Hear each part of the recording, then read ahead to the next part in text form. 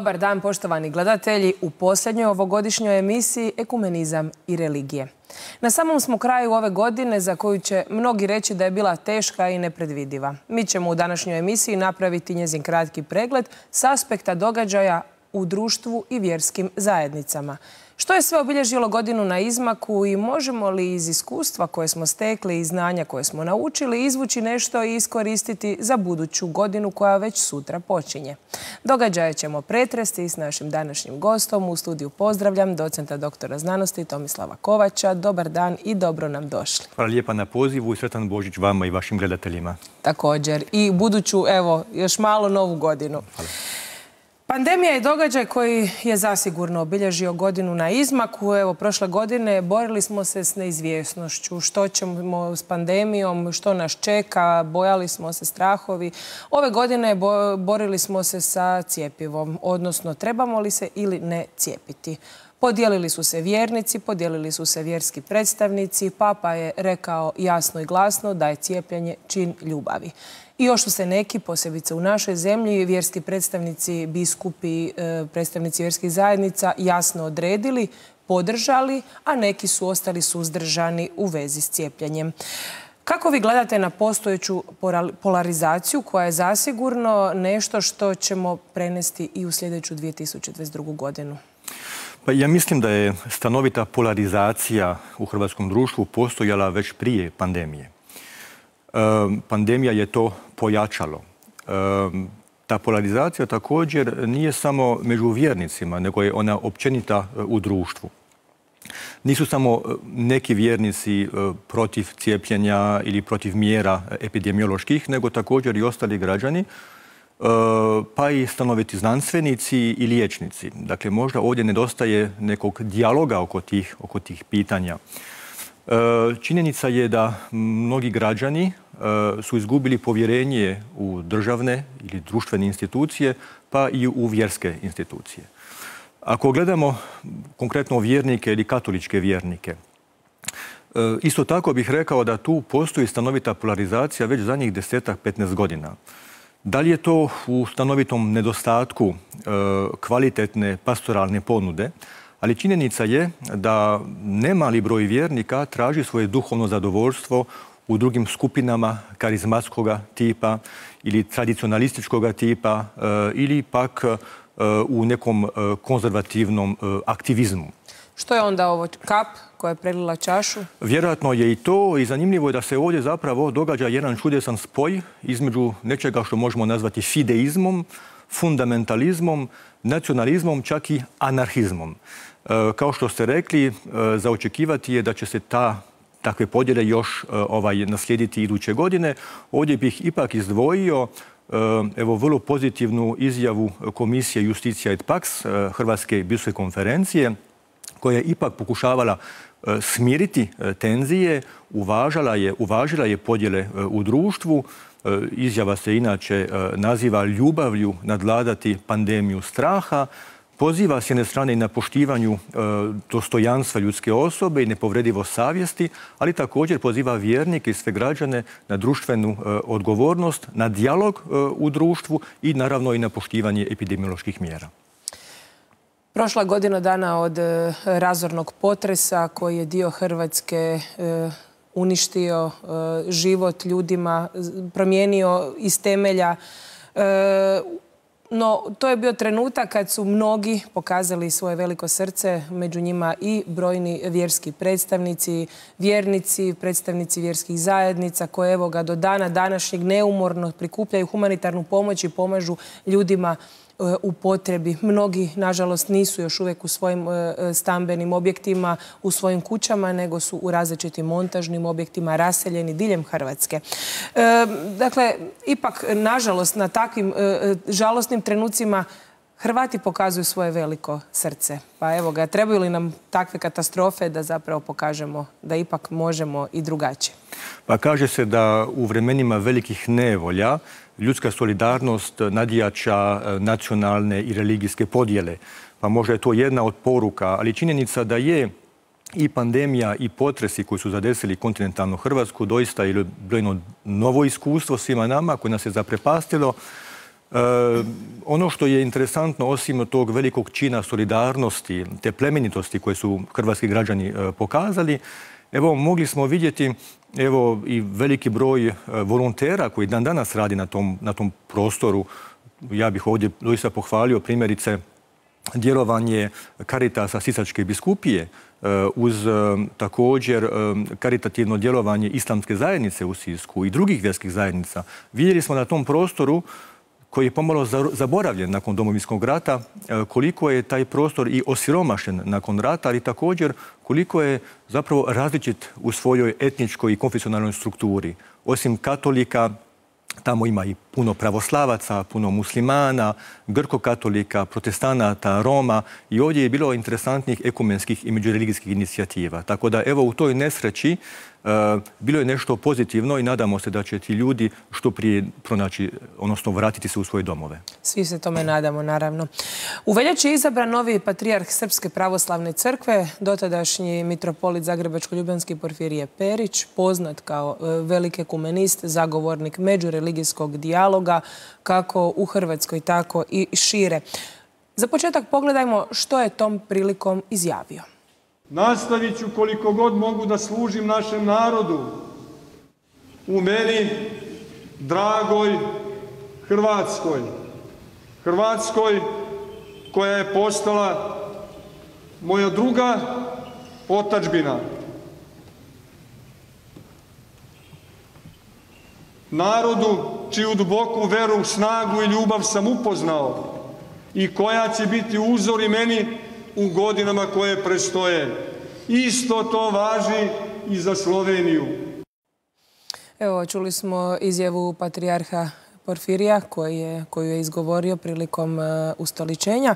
E, evo ga, rekla sam da je već bio ekumenist, zagovornik dijaloga. Je li to pokazao u svojoj prvoj godini e, vođenja Srpske pravoslavne crkve? Prvo treba reći da je veliko iznenađenje i zadovoljstvo što je mitropolita Porfirije, sada patrijarh, evo, postao e, glavni čovjek u Srpskoj pravoslavnoj crkvi. Mi smo ga doživjeli ovdje u Zagrebu i Hrvatskoj kao istinskog čovjeka dijaloga, čovjeka pomirenja, koji je uvijek stavljao evanđelje i univerzalne kršćanske vrijednosti na prvom mjestu iznad nacionalnih i drugih podjela. E, možda je prerano očekivati neke velike promjene u nekoliko mjeseci. Također e, treba evo jedno vrijeme da se i patrijarh e, evo navikne na tu novu službu, da nađe konstruktivne suradnike. Činjenica je da njegov zadatak neće biti lak. Znamo koliko je Srpska pravoslavna crkva vezana u srpski narod, ali također u srpsku politiku. E, koliko je tu i neizvjesnosti vezano također uz tu dominantnu e, nacionalističku, odnosno velikosrpsku e, retoriku koja još uvijek nadvladava u Srbiji. On je došao u jedan sasvim drugi kontekst. Srbija je u jednoj velikoj ekonomskoj krizi sa puno podjela unutar nje same, ali također Srbija se mora suočiti i sa izazovima vezanima uz zemalja u okruženju od Bosne i Hercegovine, Kosovo, dakako Crna Gora, Makedonija, Hrvatska, pa i pitanje i Europske unije. Dakle, evo, nadati se je da će Patrijar Porfirije ostati čovjek e, dosljedan sebi, da će biti hrabar, e, da će evo, imati doista milost, ako mogu tako reći, znati odgovoriti na te izazove i uvijek stavljati evanđelje i čovjeka na prvom mjestu. U Ožujku je Papa Franjo po prvi put posjetio Irak, gdje su kršćani ugrožena manjina gdje narod već dva desetljeća pati u ratovima. Tamo je otišao sa željom da podrži e, tu malu zajednicu, ali i da utre put miru i dijalogu. Ako je Bog Bog života, a to je, nije nam dopušteno ubijati braću u njegovo ime. Ako je Bog Bog mira, a to je, nije nam dopušteno ratovati u njegovo ime. Ako je Bog, Bog ljubavi, a to je, nije nam dopušteno mrziti braću. Papi je dijalog s muslimanima jako na srcu. Koje su posljedice, pozitivne posljedice njegova pastoralnog posjeta Iraku? Ovaj posjet doista možemo ga nazvati povijesnim posjetom. To je prvi put da papa dolazi u Irak. Vidimo da je ovo putovanje nastavak zapravo papinih putovanja u muslimanskim zemljama. Bio je prije toga u Turskoj, u Egiptu, u Maroku, u Ujedinim Arabskim Emiratima gdje je potpisao onu, onu, veliku deklaraciju o ljudskom bratstvu koja je zapravo na neki način leitmotiv u njegovom međureligijskom djelovanju, tako i ovdje u Iraku.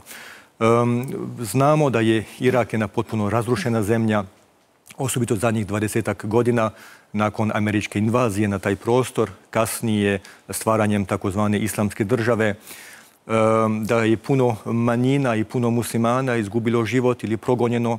Oko 3 milijuna izbjeglica iz Iraka je otišlo kroz zadnjih 15 godina. Sama kršćanska zajednica je doista evo, od milijun i pol kršćana je se spustila na 400 tisuća, vjerojatno i manje kršćana, dakle jedva 1% stanovnika Iraka sada su kršćani. Dakle, ovaj posjet je s jedne strane bila podrška i kršćanima u ekumenskom smislu, ne samo rimokatolicima. Ona je bila e, jedan korak prema dijalogu e, sa muslimanima, jedan daljni korak. Također jedno ohrabrivanje iračkog društva da nastavi graditi e, evo, svoju budućnost zajedno. On je sam sebe nazvao hodočastikom mira i nade, ali također putovanje koje je trebalo senzibilizirati međunarodnu zajednicu da pomogne Iraku i tim prostorima. U, iz međureligijske perspektive doista to je jedan putovanje gdje papa dolazi u koljevci e, Biblije, Mezopotamije, e, mnogi biblijska događanja su, su se dogodili na tom prostoru. To je prostor gdje su obitavali e, i prvi kršćani i to je osobito prostor evo praoca trio monoteističkih religija Abrahama gdje je doista ova molitva, međureligijska molitva u Ur Kaldejskom, u, rodnom mjestu e, Abrahama, e, iznimno simbolična, osobito za židove, za kršćane i muslimane. Tako da evo i Bog nam je zajednički, ako ga razumijevamo na drugačiji način, ali tu je i figura Abrahama kao čovjeka koji je uzvjerovao Bogu koji je prihvatio njegovu objavu i koji je postao otac mnoštva, kao što kaže Biblija, evo zajednička figura gdje i židovi, kršćani i muslimani mogu zajedno graditi svoju budućnost. Tako da iz tih perspektiva ovo putovanje u Iraku doista je iznimno simbolično i kreativno za budućnost. Ber, bez mira među religijama nema i mira u svijetu, rekao je Hans King koji je nažalost preminuo u travnju. No to nije jedina rečenica po kojoj ćemo mi e, tog velikog teologa pamtiti. Pa evo, što biste još izdvojili? Pa Hans King je sigurno e, katolički teolog koji je, evo, među katoličkim teolozima koji je možda najviše obilježio teologiju nakon drugog Vatikanskog koncila. On je sam sudjelovao kao mladi teolog, kao peritus na koncilu uz Jozefa Ratzingera. Kasnije su njih dvojica su se razišli. Hans Küng je bio poznat po njegovim idejama o, trajnoj reformi crkve u duhu drugog Vatikanskog koncila, o većem kolegijalitetu biskupa, većoj suradnji vjernika, laika e, i svećenstva, veće mjesto žena u, u crkvi. E, on je jedan od teologa koji je prvi e, naglasio e, evo važnost međureligijskog dijaloga i svakako ovdje treba izdvojiti njegov projekt i njegova fundacija Welt Ethos koja se zalaže za takozvanu svjetsku etiku gdje će ljudi i pripadnici velikih religija se naći oko zajedničkih moralnih i duhovnih načelja koje su nadahnute ili koje su srodne deset Božjim zapovjedima. Tako da iz te perspektive doista Hans Küng je ostavio veliki trag i ostaće jedno, jedna interesantna ličnost kao slobodni intelektualac, kao teolog koji slobodno razmišlja i njegovi poticaje za reformu crkve, za promišljanje kršćanstva u novom kontekstu doista će još dugo biti izazovni. U rujnu je Papa posjetio Mađarsku i Slovačku. Ponovno je otišao u zemlje u kojima su e, kršćani e, pa možemo reći manjina ili manjinski dio crkve i gdje se ponovno kajao za grijehe iz prošlosti, gdje se kajao e, za sve što su e, katolici napravili drugima i možda to nije bilo u skladu, sigurno nije bilo u skladu sa e, naukom katoličke crkve. I poručio je kako vjera se ne smije koristiti u političke svrhe, te sve pozvao da se zalažu protiv predrasuda i diskriminacije, podsjetivši na to koliko je važno ne zaboraviti na holokaust i E, zapravo učiniti da se on više nikada ne ponovi. Da, Papa je ovdje posjetio dvije srednjoeuropske zemlje e, koje su evo, obilježene vremenom drugog svjetskog rata, nacizmom, holokausta, ali također i komunističkim progonstvima nakon rata. U tome su te dvije zemlje slične Hrvatskoj. I to su dvije zemlje Europske unije koje su na neki način na periferiji Europske unije. U Mađarskoj, odnosno u Budimpešti je Papa posjetio 52. E, Međunarodni euharistski kongres i tom prilikom e, se također susreo nakratko sa premijerom, sa premijerom Viktorom Orbanom. I poznato je da premijer Orban i Papa Franjo nemaju istu viziju dočeka migranata u Europi. Premijer Orban dosta se poziva na kršćanske korijene Europe, na očuvanje identiteta kršćanskoga u Europi, dok Papa Franjo želi jednu Europu koja je, koja je otvorena. Tako da, evo, mi vidimo kod Orbana i kroz takvih političara jednu stanovitu evo, korištenje kršćanskih vrijednosti ili naziva u političke svrhe. Tako da ta dimenzija evo, političke manipulacije ponekad religijama ili religijom e, je obilježilo to putovanje pape u, u Mađarskoj i u Slovačkoj. Sad ćemo pogledati što je papa e, prilikom posjeta Slovačkoj izjavio. Ovdje je obečašćeno Božje ime, jer je najgore bogohuljenje kojemu se može donijeti jest koristiti ga u vlastite svrhe, umjesto da poštuje i voli druge. Ovdje je suočeni s povješću židovskog naroda, obilježenom ovim tragičnim i neizrecivim uvredama, sramimo se to priznati. Koliko se puta neizrecivo ime Svevišnjega koristilo za neizreciva dijela nečovječnosti. Koliko je tlačitelja izjavilo, Bog je s nama, ali oni nisu bili s Bogom. Evo, čuli smo papinu izjavu, vrlo upečatljivu i zapravo nešto na što svatkako moramo voditi računa i paziti u budućnosti da se ne ponovi. Evo vaš komentar. U tim zemljama, osobito u Mađarskoj i Slovačkoj, je bilo jako puno židova prije drugog svjetskog rata. Dan danas e, Mađarska broji oko 100 tisuća židova i to je srednjoeuropska zemlja u kojoj ima najviše židova. Međutim, bilo ih je preko 800 tisuća prije drugog svjetskog rata.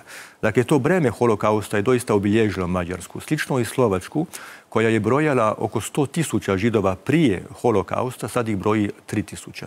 Tako da, evo, kroz ovo putovanje koje ima i također jednu ekumensku perspektivu, evo, interesantan je taj naglasak E, na, e, na vrednovanje e, dakle židovskoga, židovske prisutnost na tim prostorima, na osudu holokausta. Papa Franjo je pozvao osobito u Slovačkoj da treba što prije ugasiti evo taj fitilj antisemitizma koji se ponovno budi u nekim krajevima Europe. I osobito je pohvalio u Bratislavi dakle kako su židovi znali očuvati spomen na svoje žrtve i kako su unatoč e, te žrtve e, ostali konstruktivni e, čimbenik u slovačkom društvu. Također je posjetio spomenik holokaustu i zaustavio se u siromašnoj romskoj zajednici. Tako je i također na svim putovanjima Pape Franje, Papa Franjo stavlja naglasak na, na manjinske zajednice na one koji su manje u svjetlu projektora, ako mogu tako reći. I e, tako su i Romi, e, pa i u širim prostorima ovdje puno nastradali za vrijeme holokausta. Tako da, evo, to je bilo također jedna od poruka uz ekumensku poruku gdje je Papa u Bratislavi susreo također 11 predstavnika predstavnika crkava koje spadaju u konferenciju europskih crkava. Tako da, evo, to je jedan od naglasaka kako je to povezano zapravo i holokaust, i nacionalizam, i xenofobija, i antisemitizam, i danas populizam. I holokaust je zapravo simbolički iskaz svega onoga najgore što ideologija može učiniti društvu i čovječanstvu. Evo, pri samom smo kraju emisije, ostale su nam još dvije teme. Jedna od njih je također e, događaj po kojem ćemo pamtiti 2021. godinu, a to je e, međureligijska molitva u Rimu, međureligijska molitva ispred Koloseja na kojoj su sudjelovali i predstavnici muslimana i židova i papa Franjo, ali i Angela Merkel. Dakle, molilo se za mir, ali i očuvanje planeta Zemlje.